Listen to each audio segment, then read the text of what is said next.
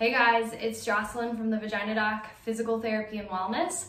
In this video, you are going to learn different ways and different strategies to breathe and how to most effectively utilize your diaphragm while you breathe.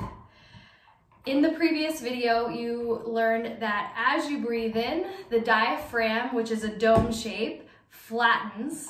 And as it flattens, it pushes the abdominal contents down and your pelvic floor muscles help control the, the descent as they, because they lengthen or they stretch. And then as you exhale, the diaphragm recoils, the pelvic floor recoils, and your organs return back to where they started. That only happens if you're using your diaphragm as the main breathing muscle. A lot of people utilize other muscles to help breathe rather than using their diaphragm because they're using their diaphragm to help stabilize themselves. And I know that they do this because I watch people holding their breath as they transition from sitting to standing, rolling in bed, going up the stairs. So step one is realizing what you do. Now, Getting into how to breathe. Upper chest breathing is when you breathe and you see your shoulders rise. Or if I'm standing here and I breathe and my chest basically goes like this. If as I breathe, there's not much expansion of my abdomen, my belly, and there's not much movement out here. As in contrary to that, strictly belly breathing looks like this. And I'm not very good at this, but if I, most of my movement is happening here. So my belly expands, I'm not raising here, but there wasn't, at least I wasn't focus, focusing on it, there wasn't much movement in my rib cage. A balance strategy is where your chest expands, your belly expands, and your ribs expand out here and even in the back.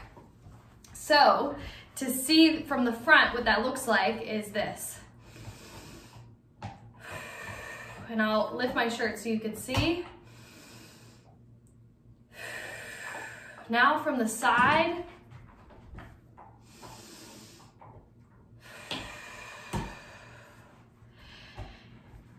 You can tell what you're doing by putting a hand here and a hand here. And as you breathe in, there should be equal movement in both places. Then if you have four hands, you can do all four spots, but then you can do something like this to make sure you're raising in your chest and the sides of your ribs, and then go and do the same thing for your belly.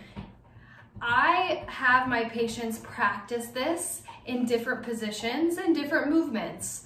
So if I'm just standing here or sitting here, it's a different challenge than if I'm on my hands and knees position. The reason is, is because when my hands are in contact with the surface, other muscles that just help the diaphragm have a different role now or, or their role changes just slightly. So the positions that I have my patients get in vary depending on what their ultimate goals are.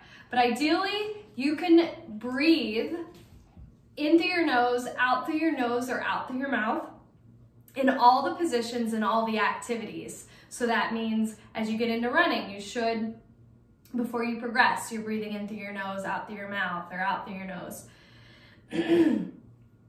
practice this walking, practice this through your core exercises, practice this in isolation. If it's an easy, if it's easy in isolation, it's time to move on. You don't have to just do that unless you're adding it on to a mobility program, a stretching program, a meditative program, a mindset program, uh, you don't have to continue just training and unless your therapist or whoever you're working with tells you that you should just do the breathing in isolation. Thing, I do want to talk about mouth shape. When you practice your exhalation through your nose, I want you to utilize pursed lips. So pursed lips meaning it's like you're blowing out birthday candles or you're gently blowing off petals of a flower. It's gentle and it's circular like this. The reason why we do that is twofold. The first is that it helps create friction for the air to slow our exhale. Because ideally, we want to be able to ex our we want our exhale to be twice the length of our inhale or longer. It just depends on your training regimen. The second reason is that I don't know exactly the data on this, but I, I've heard this a couple times in different trainings, is that when you make a circular shape out of your mouth, it mimics the shape of other pertinent muscles. In this case, the sphincter between the diaphragm and the gut, the sphincter between the, so sphincter being a circular muscle, uh, the sphincter of our anus, so that helps maintain fecal continence, and our urethral sphincter, so the muscle that cuts off the flow of urine, that's circular as well.